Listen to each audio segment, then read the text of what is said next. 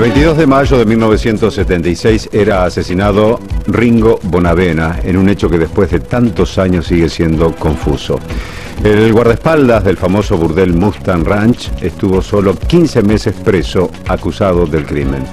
Su muerte causó conmoción entre sus cientos de miles de seguidores, aunque en verdad sus últimos pasos parecieron un camino directo hacia la muerte.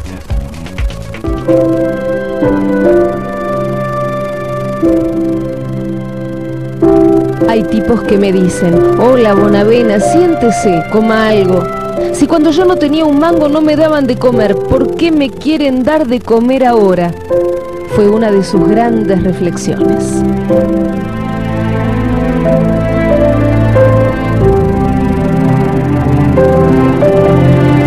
Nació en Boedo, pero fue de Parque Patricios. Murió en Estados Unidos, pero su alma nunca se fue de acá. Se llamaba Oscar, pero siempre fue Ringo. Más Ringo que Oscar Natalio Bonavena. Y fue sin duda el boxeador más carismático de la Argentina. Old world here, round nine, you won't be mine. Nine. Maybe you're coming seven down. No. Decía que no le digo nada. Surprise. Surprise.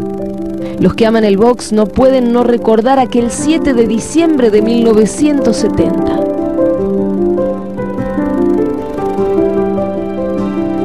Ringo caía por tercera vez en el Madison Square Garden ante Mohamed Ali. Perdía por nocaut.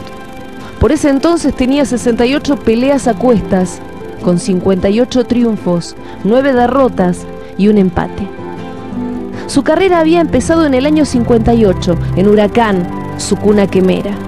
Al año siguiente ya era campeón amateur y en poco tiempo más se había quedado con dos coronas en torneos sudamericanos. Su desempeño en el ring le otorgó enseguida un lugar en los medios, pero fue su excepcional forma de ser la que hizo perdurar a Ringo personaje más que a Ringo boxeador. Eso que la gente el sábado tiene que venir con flores. ¿Por qué? Sí, porque va a ser un velorio, va a ser una matanza. La experiencia es un peine que te dan cuando te quedas pelado, solía decir también. Él nunca completó sus estudios, pero no necesitó ningún título para entender cómo había que manejarse con la prensa. Hasta Hollywood pensó en rendirle homenaje con una película inspirada en el primer prostíbulo legal de los Estados Unidos, el Mustang Ranch, allí donde lo mataron, hace exactamente 36 años.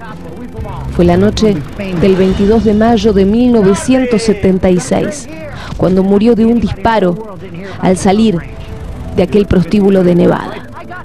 El guardaespaldas Ross Breimer fue acusado por el crimen que pagó con apenas 15 meses de prisión, ya que la carátula fue cambiada a homicidio involuntario.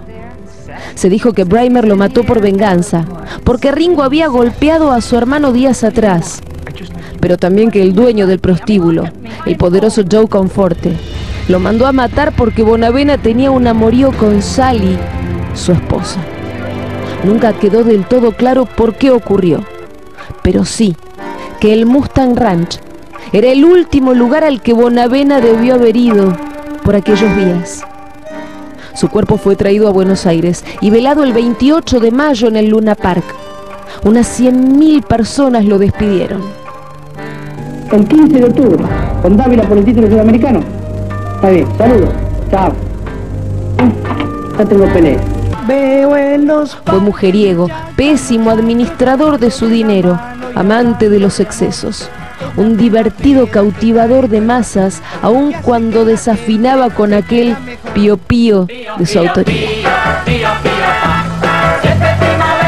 Y por sobre todo, fue un buen tipo.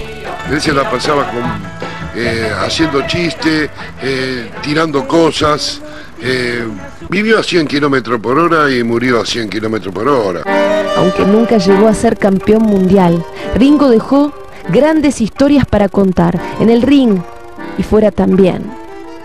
Todos son muy amigos, pero cuando te subís al ring te quedas solo, tan solo que hasta el banquito te sacan.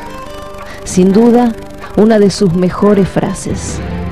Frente a la cancha de Huracán, una estatua de más de 3 metros y 450 kilos lo mantiene casi vivo, como si nunca se hubiera ido, como si nunca hubiera dejado Parque Patricios.